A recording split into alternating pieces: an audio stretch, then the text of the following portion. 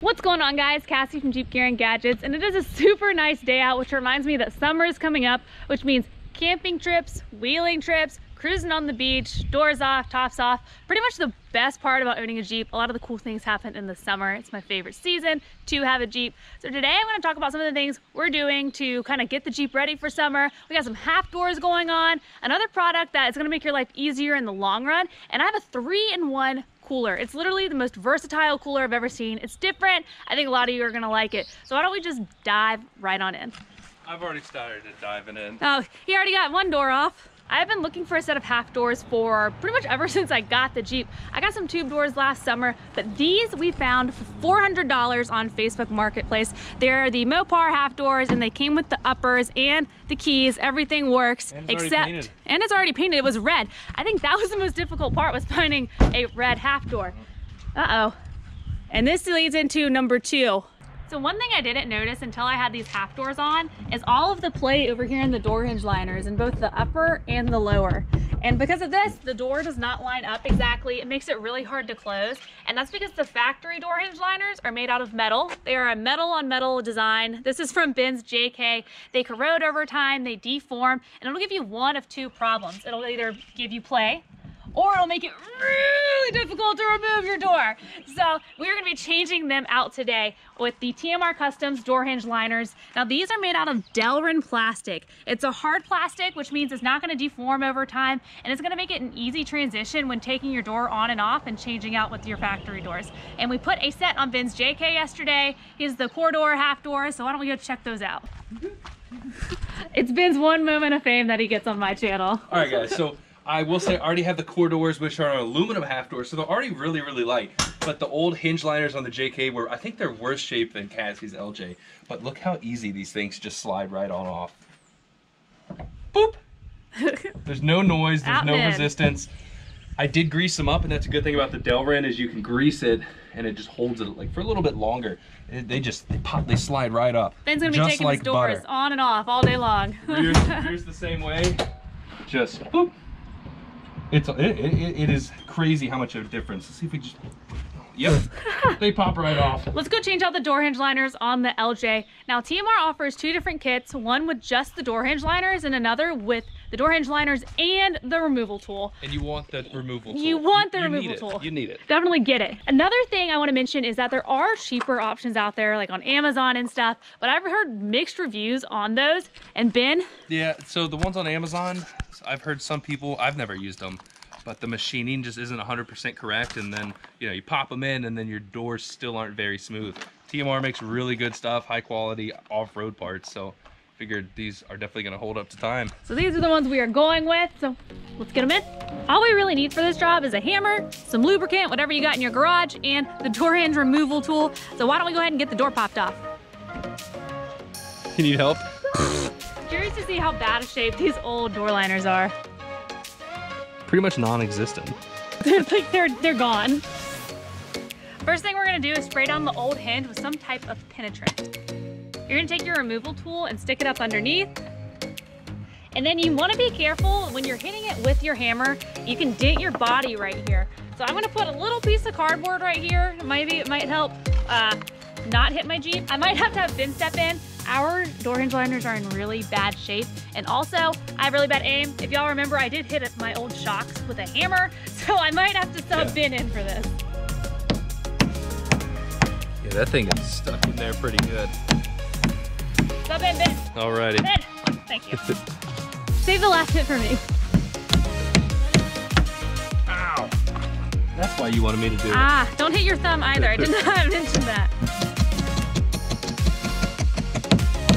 Alright, finish it off. All right, I get to finish it off. Bling. So let's check it out. This thing is in pretty bad shape. It's corroded, deformed, pretty much everything I mentioned earlier. So now that this liner is out, we are going to grab our flathead screwdriver and just tap our old removal tool out. Simple as that. Now that the old door hinge liner is out, we're gonna spray it down with some more lubricant and put the new liner in. I don't even need a hammer. Slides right in. The bottom is gonna be a little more difficult if you have rock rail, so let's see if I can even get this one started. Literally the whole hinge is moving right now. If I had a brand new Jeep, I would go ahead and replace the factory ones. That way you will never get to this point that we're at trying to get these old nasty metal ones out. This bottom one is really stuck in there. So we're gonna remove the whole door hinge, go put it on the bench and see if we can hammer it out over there. There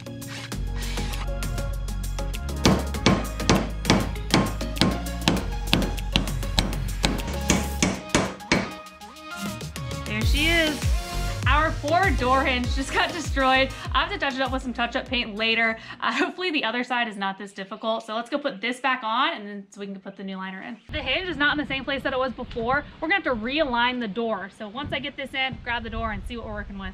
Another thing we went with while we were at this job anyway are some door pin guides. They thread onto the top of each door and it just kind of helps you line your door up better when taking them on and off. So all we're gonna do is thread them on and you're good to go. All right, let's get this door on. So the pin just kind of guides it in. So now since we took the hinge off, we need to mess with it because it's not lined up perfectly for the door to slide on.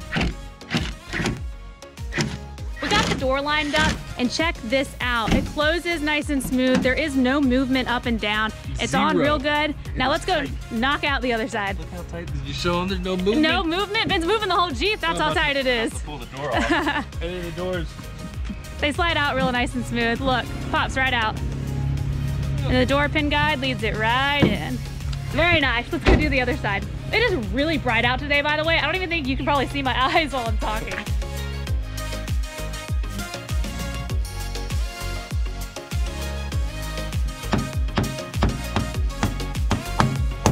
So we have the door hinge liners in.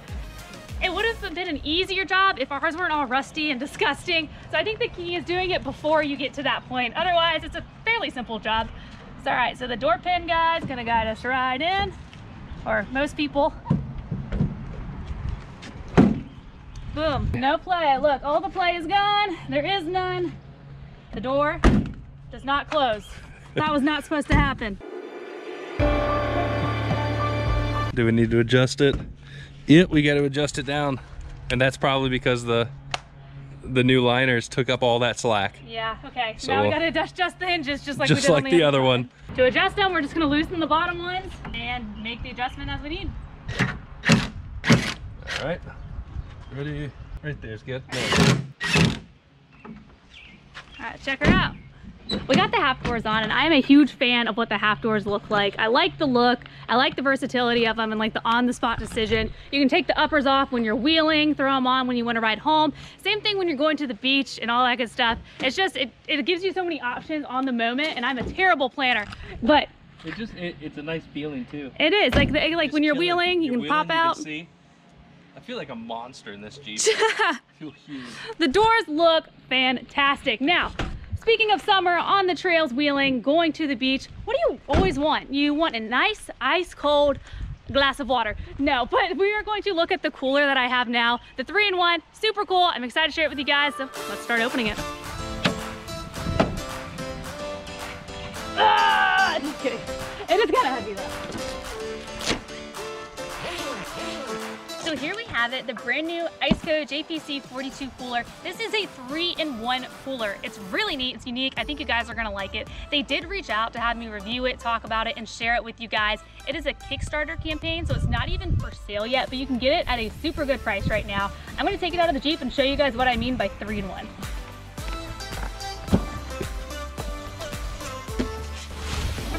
It looks like your typical cooler, right? You have your latches, you have your cup holders, typical cooler layout. But when you open it up on the inside, there is a compressor. So it can turn into a fridge or a freezer. So this cooler can be a normal cooler, throw ice in it for the day, go to the beach, go to your friend's house, go wherever you need to go, and you're good. Or you can plug it into your 12 volt outlet and turn it into a fridge or a freezer depending on what your needs are, which is crazy to me. So it's three in one. So depending on what you're doing, can depend on what you want to use it for. So let's throw it in the Jeep and kind of show you how it works. We have a full-time fridge in the back of the JT, but that doesn't really fit my needs with this Jeep, and it won't even fit in the back of the LJ anyway. So this is a really good versatile option. It's a cooler, as I said. It's a fridge if I want it to be, so if we go camping for a couple nights, or I can turn it into a freezer. So it really fits all of my needs depending on what I'm doing. So I'm gonna take out all the wires and the plugs, plug it up and just kind of show you guys how it works. It has a normal wall outlet and also comes with the 12 volt outlet to plug into your cigarette lighter in your car. Plugged in. Here's the controls. You have max and eco. You can adjust the temperature. You can also change it from Fahrenheit to Celsius. And I promise it's not flashing, it's just the LED lights. I think this cooler is gonna be really neat. It's versatile. I can kind of use it to what my needs are for whatever trip I'm taking, whether it's going to the beach, going wheeling, going camping. It's really cool, and I think a lot of you guys will like it too. I've got a Only downside. only downside, One downside. the adjustable voltage control. I forgot to mention that. So on the full-time fridges, there's a low voltage cutoff and you can change that. Um, so the fridge will pretty much keep running until whatever you program it at. You don't want to completely kill your battery, but you want the fridge to keep running. At that point, it would shut the fridge off. This does not have an adjustable low voltage cutoff. So anytime your Jeep is off, it's only gonna keep going for like another two minutes. So this cooler, it doesn't have all the features of a full-time fridge, but It's a know, good option. You I'll have, have to ice in there whenever you're driving, it's gonna be cooling it. So I'll- it's a mix of both. Who am I looking at? I'll have to plug it in while I'm wheeling or to and from wherever we're going to like kind of make up for not it not having that adjustable voltage control. I'm gonna have to call it for this video, guys. I have a conference call in literally two minutes. I've got to go upstairs for, but I really wanted to show you the half doors, the door hinge liners. I think will be helpful for a lot of you. And this cooler, it is so versatile. I think it'll fit a lot of your needs as well. It's kind of neat. It's not just a fridge. Not just a cooler. It can be what you need for whatever trip you're going on. All of that is going to be in the video description below. Next time, I'll probably be talking about some of the axles. The tires actually mounted finally, and we got some new stuff up on the front of the Jeep. As always, give it a thumbs up, subscribe to the channel, and my name's Cassie, and keep Jeeping classy. There's a mosquito on my wrist.